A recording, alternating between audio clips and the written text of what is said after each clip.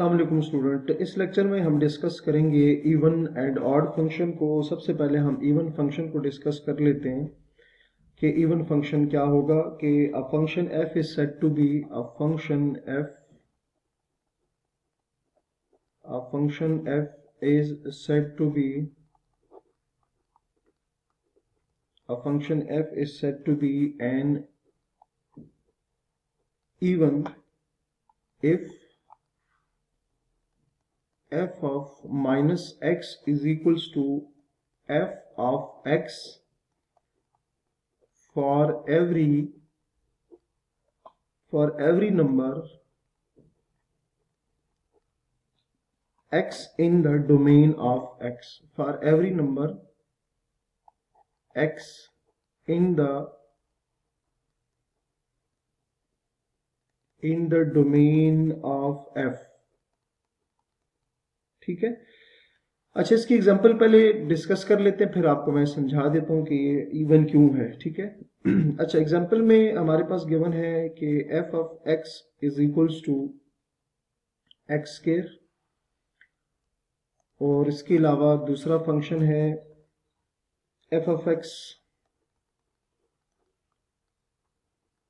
cos x ये दोनों जो हैं are even functions are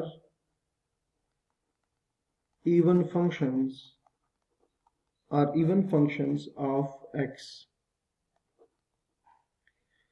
अच्छा स्टूडेंट सबसे पहले जरा इसको एक्सप्लेन कर देता हूँ मैं कि इवन फ़ंक्शन क्या होता है, कि are function f is set to be an even if कि अगर उस फ़ंक्शन में एक्स की जगह माइनस एक्स पुट किया जाए, और वो किसकी इक्वल आ जाए, वो इटसेल्फ फ़ंक्शन की इक्वल आ जाए तो उस केस में जो फ़ंक्शन होगा, वो इवन फ़ंक्शन होगा। हमने एग्जांपल दी है f of x is equal to x के और f of x is equal to cos x के। ये हमने क्लेम किया कि ये दोनों क्या है? इवन फ़ंक्शन तो हम बारी बारी दोनों को चेक कर लेते हैं। फ़र्स्ट नंबर पे हमने कहा कि f of x is equals to x square ये क्या है? एक इवन फ़ंक्शन है। डेफिनेशन को फॉलो करेंगे। हम सिंपल क्या करेंगे?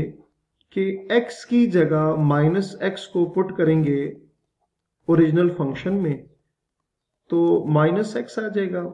आप x की जगह माइनस एक्स पुट करें, x की जगह माइनस एक्स पुट किया स्केयर लेंगे तो f ऑफ़ माइनस एक्स किसकी इक्वल आ जाएगा x स्केयर के। तो f ऑफ़ माइनस एक्स ये x स्केयर क्या है? ये आपको जो नज़र आ रही है x स्केयर ये किसकी इक्वल है? ये तो f ऑफ़ x की इक्वल है। ठीक हो गया?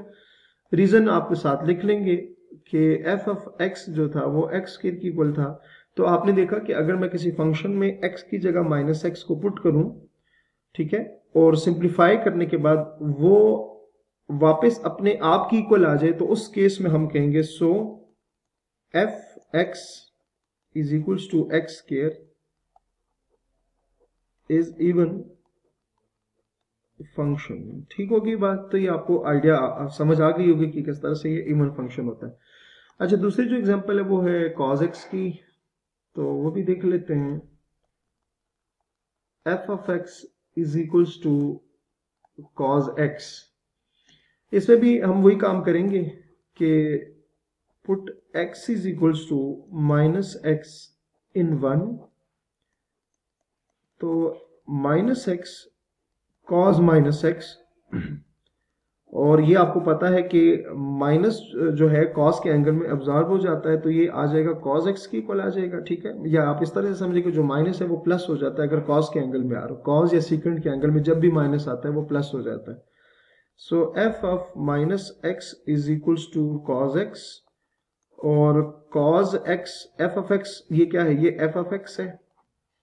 रीजन में वही बात लिखेंगे कि एफ़ ऑफ़ एक्स जो है वो कॉस एक्स के इक्वल आ रहा है। ठीक हो गया? तो इस तरह से हम ये भी कह ये ये कहेंगे कि so f of x is equals to cos x is even function is even function ठीक होगी बात? तो ये डेफिनेशन आपको क्लियर होगी। तो डेफिनेशन में हमने यही बात लिखा था अगर किसी फ़ंक्शन में एक्स की जगह माइनस एक्स पुट करें और पुट करने के बाद उसको सिंप्लीफाई करने के बाद वो फ़ंक्शन खुद आ जाए तो हम कहेंगे कि वो जो फ़ंक्शन है वो क्या है? आ, वो हमारे पास इवन फ़ंक्शन है। अच्छा इसके अलावा ग्राफिकली आपने ये पॉइंट नोट करना है कि जो इवन फ़ंक्शन का ग्राफ होता है even function graph is even function का जो ग्राफ होता है even function is even function graph is symmetric about y axis even function graph is, even function graph is symmetric about y axis ठीक है? अच्छा इसका मतलब क्या है कि हमने कहा कि इवन फ़ंक्शन का जो ग्राफ होता है वो सिमेट्रिक अबाउट एक्स एक्सिस होता है। वो क्या होता है? सिमेट्रिक अबाउट एक्स एक्सिस होता है। अच्छा सिमेट्रिक का मतलब क्या होता है कि वो बेसिकली मिरर बन रहा होता है। सिमेट्रिक अबाउट वाई एक्सिस का मतलब क्या होगा कि उसका जो ग्राफ है, वो वाई एक्सिस के दोनों तरफ़ एक जैसा होगा, ठीक है? उसकी मतलब एक एक अपनी इमेज बन रही होगी, वो एक रिफ्लेक्शन होगी एक दूसरे का जो ग्राफ होगा, ठीक है? जैसे कि अगर आप देखें ना, हमने जो अभी इवन फ़ंक्शन की बात की है एफ़ एफ़ एक्स की हमने बात की है, वो है एक्स स्केयर के। तो अगर मैं आपको उसकी ग्राफ की बताऊँ तो उसका जो ग्राफ होगा, ये लेट से मैंने एक कोऑर्डिनेट प्लेन बनाया। अच्छा उस उस उस फ़ंक्शन का जो ग्राफ होगा ना, अभी मैं चूँकि देखें, वो कुछ इस तरह से होगा। वो इस तरह से होता है, ठीक है? ये मैंने कोशिश की है कि वाई के दोनों तरफ़ एक जितना हो तो इस इस चीज़ को कहते हैं कि सिमेट्रिक है, ठीक है? तो ये हमारे पास जो ग्राफ है ये इसका ग्राफ है एक्स स्केयर का। F of x is equals to ये एक्स स्केयर का। तो सिमेट्रिक का मतलब क्या होता है? मैंने यहाँ वर्ड यूज़ किया है कि even function graph is symmetric about y axis इसका मतलब ये होगा कि जो ग्राफ होगा वो y के दोनों तरफ़ एक जैसा होगा। तो इस चीज़ को कहते हैं कि सिमेट्रिक है। इसके अलावा जो दूसरा फ़ंक्शन है हमारे पास आ, वो क्या था? F of x is equals to cos x तो उसका जो ग्राफ है, वो भी आप देख लें, वो मैं आपको बना के दिखा देता हूँ कि वो किस तरह से होगा। ये हमने एक कार्टिजियन प्लेन लिया। अच्छा जो ग्राफ होगा ना इस केस में हमारे पास लेट से मैं यहाँ से स्टार्ट करता हूँ। ये फ़र्स्ट ईयर के कोर्स में आपको ये चीज़ें क्लियर होंगी।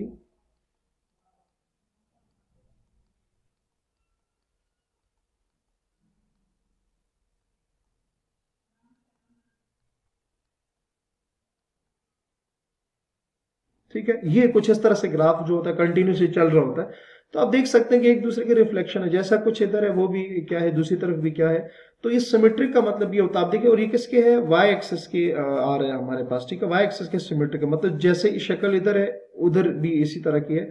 तो सिमेट्रिक का मतलब ये होगा, जिसमें आपको, यहाँ से भी मैंने आपको क्लियर कराया कि ये किस तरह से आएगा, और यहाँ से भी आपने आपने देखा कि सिमेट्रिक का क्या मतलब होता है। तो नेक्स्ट इंशाल्लाह हम, जो नेक्स्ट वीडियो है वो ऑड फ़ंक्शन पे करेंगे तो अपना बहुत सारा ख्याल रखिएगा। अल्लाह हाफिज़।